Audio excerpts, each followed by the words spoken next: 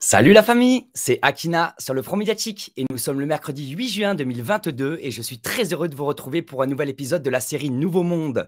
Et pour ce 21e épisode, nous avons la chance d'accueillir des candidats citoyens qui se présentent aux législatives de ce week-end et du week-end prochain, législatives 2022. On a la chance d'avoir Jean-Pierre, d'avoir Sophie, une autre Sophie, Christophe, Vartan, Pascal et Éléonore. Merci à vous d'être présents. On va donc euh, ben, vous donner la parole à chacun d'entre vous ce soir avec cinq questions. Vous allez pouvoir nous partager ben, pourquoi ces candidatures pour l'élection législative 2022. Pour introduire très rapidement, hein, pour moi, vos candidatures euh, valident le rejet hein, des partis politiques par les électeurs. Et donc, c'est de nombreux candidats citoyens qui se lancent pour les élections législatives à venir du 12 et du 19 juin. Vous vous inscrivez dans le sillage des mouvements citoyens qui se sont euh, intensifiés ces dernières années et en proposant notamment d'associer les électeurs à leur prise de décision. Euh, vous, candidats, souhaitez faire de la politique autrement.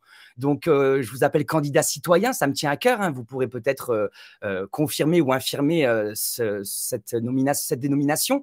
Vous tentez de, toutes les matières, de toutes les manières possibles de se mettre en place, de vous mettre en place pour législative et donc de vous présenter, ce qui est le cas. Hein. Vous avez réussi à, à franchir toutes les étapes administrative, mais malheureusement, il y a de nombreux rouages électoraux, des complexités administratives, des freins financiers ou encore le mur médiatique, évidemment, qui sont des obstacles qui sont difficilement surmontables.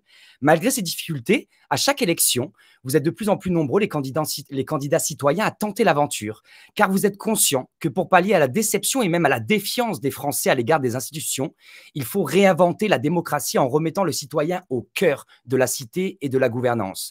Le phénomène témoigne d'un désir de changement profond et unanime, la volonté de redonner au peuple sa souveraineté légitime. Une autre exigence hein, commune euh, vous caractérise, en tout cas, je pense que c'est le cas, vous me confirmerez ou pas aussi euh, au cours de l'échange, euh, c'est le fait d'éviter, vous vous mettez des garde-fous pour ne pas retomber dans les travers que vous dénoncez.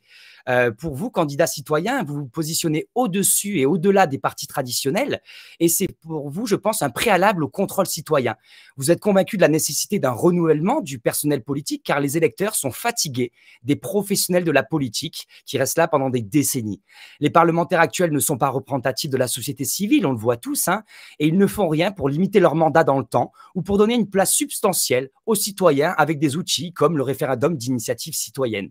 Nous avons donc la chance d'accueillir ce soir sept candidats citoyens qui viennent des quatre coins de la France, qui euh, de, tout parcours, euh, de tout âge, de toute origine, et qui sont engagés dans différents collectifs ou sans étiquette pour certains, pour porter des candidatures porteuses d'espoir pour construire un nouveau paradigme politique. Merci à vous d'être présents ce soir. Merci d'avoir répondu euh, présent à l'invitation du Front médiatique. Et donc, on va partager cette soirée en cinq temps, cinq questions qui seront les mêmes chacun d'entre vous.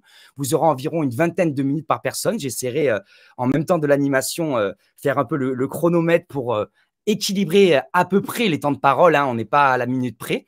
Et donc, euh, merci beaucoup à vous de prendre ce temps. Et déjà, bravo euh, d'avoir pris ce temps en amont depuis plusieurs semaines, même plusieurs mois, j'imagine, pour pouvoir présenter ces candidatures parce qu'on sait que tout est fait pour éviter que les citoyens soient trop partie prenante euh, de l'échiquier politique, euh, d'où aussi des modalités administratives, des, complexités financières, comme je le citais dans l'introduction.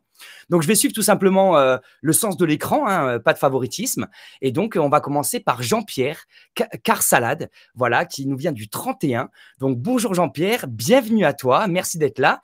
Et ma première question, c'est peux-tu te présenter en quelques mots, euh, nous rappeler euh, pour quel mouvement tu es actif, d'où tu viens, et peut-être quelques éléments clés de ton parcours qui permettront euh, d'expliquer déjà ta présentation aussi rapidement, même si évidemment, dans un second temps, on reviendra sur les motivations, sur les engagements. Hein.